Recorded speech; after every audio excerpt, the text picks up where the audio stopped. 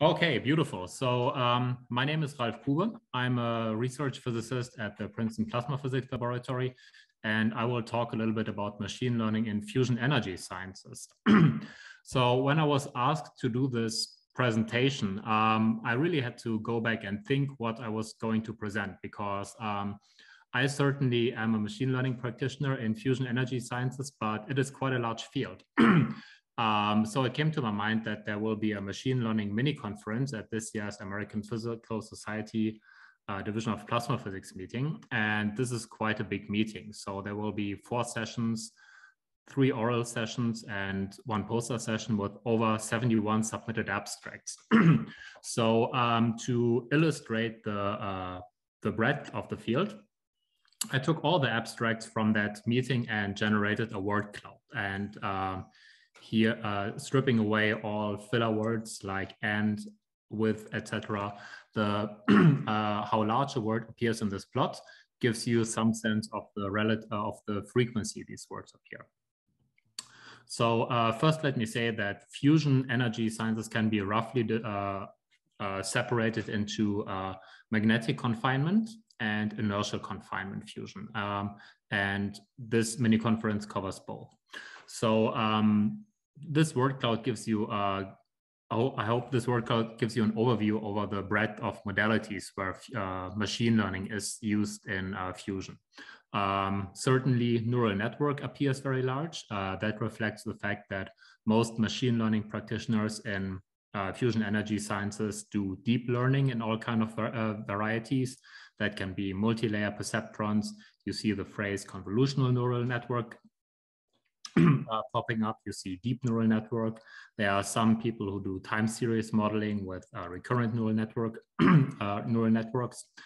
Um, and then more of coming from the uh, from the physics side, you uh, see the big uh, phrase simulation, and that reflects the uh, the uh, the research thrust in the field to uh, replace expensive numerical simulations with machine learned surrogate models. That's uh, certainly an aspect many people look into. Um, and then you see many smaller uh, you see uh, many smaller terms, for example, anomalous transport coefficients, beam emission spectroscopy, disruption prediction, inner shell target. And those are all terms that reflect uh, the different uh, physics modalities, so to say, that come uh, that that are important from the uh, uh, from the exper uh, from the experiments. Um, and you also see some smaller words, for example, Gaussian process regression. Um, that's certainly a very popular technique, not deep learning, but there are certainly mach machine learning practitioners in the fusion energy sciences who use this technique. Okay, um, I'm personally working on magnetic confinement fusion. Uh, so I thought I uh, coming from the experimental side, uh, I'm going, I thought I uh, motivate a little bit what kind of data we are working with. Because when you say machine learning, you certainly look at the data sources. So um, here on the top left, you see uh, a tokamak, a machine for use for uh, magnetic confinement fusion. And here, um, uh, this is an illustration of the upcoming SPARC tokamak, one of three tokamaks that is currently under construction in the US. And then in the top right, um, I just took some random uh, visualizations of data that are measured in uh, plasma discharges.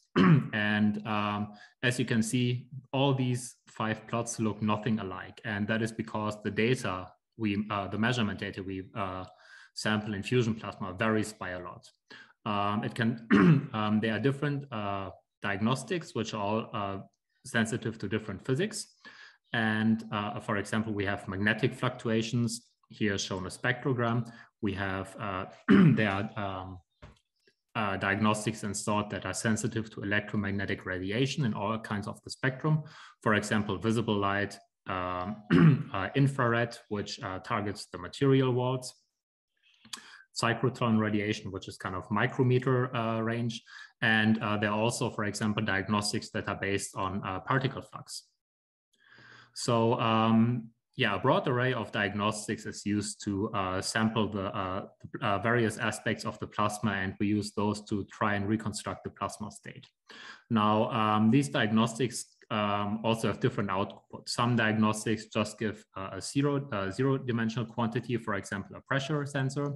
Some diagnostics give us one-dimensional uh, data, which would be of profile, or two-dimensional data. And in addition, many of these uh, diagnostics, either due to uh, the, the physics they are sensitive to or uh, electronic limitations will sample on different uh, time scales. so on the plot on the lower right here, uh, this kind of illustrates what kind of length and time scales we are dealing with in uh, fusion plasmas. Time scales uh, range from less than nanoseconds for wave physics to seconds for macroscopic transport. And the length scales, are so that's, that's over 10 orders of magnitude on the x-axis. And then on the y-axis, we have uh, time scale uh, differences between seconds and 10 to the minus seconds. So it's a, a lot of variability. And uh, from this variability uh, comes also the fact that machine learning tasks vary a lot in uh, fusion plasmas. So um, let me just quickly illustrate three kind of machine learning research topics that are popular at PPPL and uh, since we are associated with Princeton, also at Princeton University. Um, on the left, um, you see an illustration uh, uh, that's supposed to be plasma control. And here, uh, and that is exactly what the name says. If we have a discharge, we have a real-time uh, feedback system uh, that tries to steer the plasma away from unstable configurations, kind of, kind of just keep it confined. And there are some uh, there are some uh, there are some research going on how machine learning can be used to uh, optimize the feedback system so that the plasma uh, plasma control system is able to operate more efficiently, keep, keep the plasma better on track. Um, another thrust of research that uh, PPPL is heavily involved in is machine learning for uh, fusion simulations. Um, fusion simulations come in all uh, sizes and please excuse me. and um, the uh, we, are, we are running some simulations on um, yeah the uh, the big computers like Cori and uh, yeah that's what it is. Daddy has to talk to his friends. I'm sorry, I'm having a daycare situation today. Um, okay, um, right. So we we uh, we have the XGC code, which is very compute intensive, and um, in preparation for running more physically accurate uh, models, we would like to replace some compute intensive parts of the codes with machine learn uh, with machine learn surrogate models. Um, another thrust of research we are involved in is disruption detection. Uh, disruption in a fusion plasma is a mode uh, that that is uh,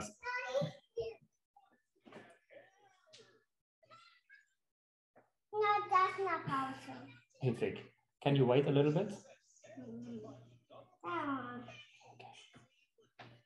Um, that is a sudden termination of the uh, of the discharge, um, which uh, can damage the plasma vessel walls, which we uh, which is very costly. So we would like to uh, have a system that uh, precautiously terminates the discharge when it is uh, detected that the plasma evolves into the state.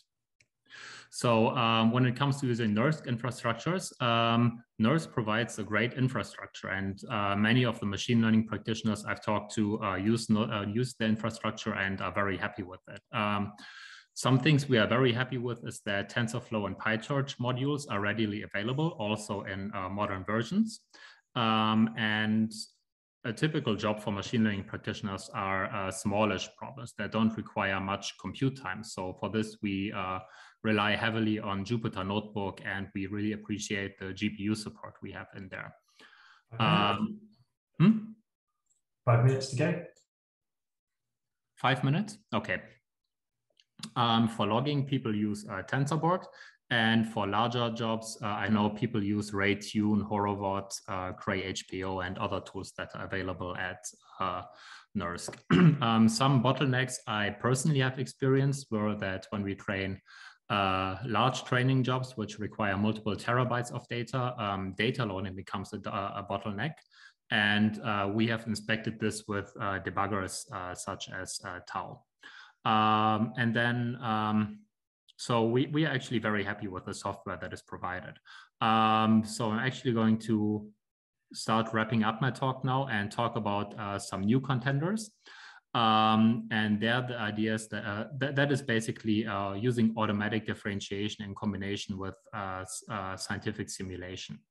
Um, some uh, that that paradigm is also known under programming 2.0 and there the idea is basically to use automatic differentiation to make arbitrary code amenable to gradient based optimization not only uh, neural networks for example so um, there are two tools that uh, I, I, gather are popular among uh, machine learning practitioners, and those are Julia and uh, JAX. So Julia is a language that is uh, developed from the scratch. It's very young. Um, automatic differentiation is a first class citizen and the entire language is just in time compiled, so it runs very fast.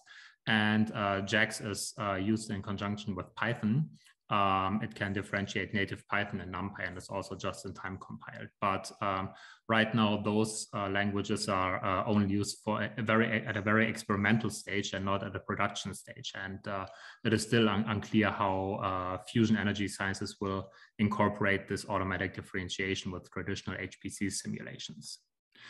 And then um, another trend I would just uh, like to shortly bring up here is that um, we um, fusion will most likely, uh, with the next generation of fusion experiments, generate very large uh, data sets. We are talking about crossing petabytes of data per day. And it is, uh, and we are looking into how machine learning can be used uh, with the with these kinds of data sets. Um, so some technologies we are discuss I have discussed internally with colleagues are um, first uh, custom, custom machine learning hardware, and this goes under the name uh, wafer scale engines. Uh, Cerebras recently released uh, one of these. Um, it's basically chips designed for machine learning tasks, specialized hardware, and combine them into um, chips that are like physically large, hence the name wafer scale engines.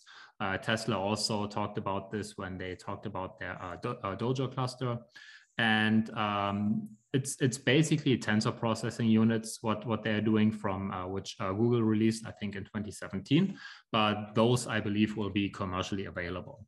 Um, also, in conjunction with the uh, big data um, age of fusion, if you so will, um, is uh, a move uh, towards uh, uh transformer uh, neural networks. And uh, those, th those are by design more general, but require more data to, to, to, to work on the task. So um, there's some research going on how to use these networks for fusion energy right now. A minute left. Yeah, I'm finished.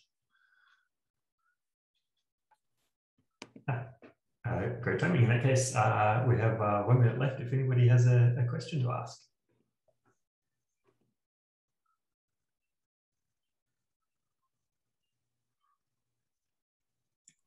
I guess I can ask a question. Um, so thanks, Ralph, for the nice uh, shout out of the uh, machine learning software. But is is there anything uh, you feel is missing from the stack or?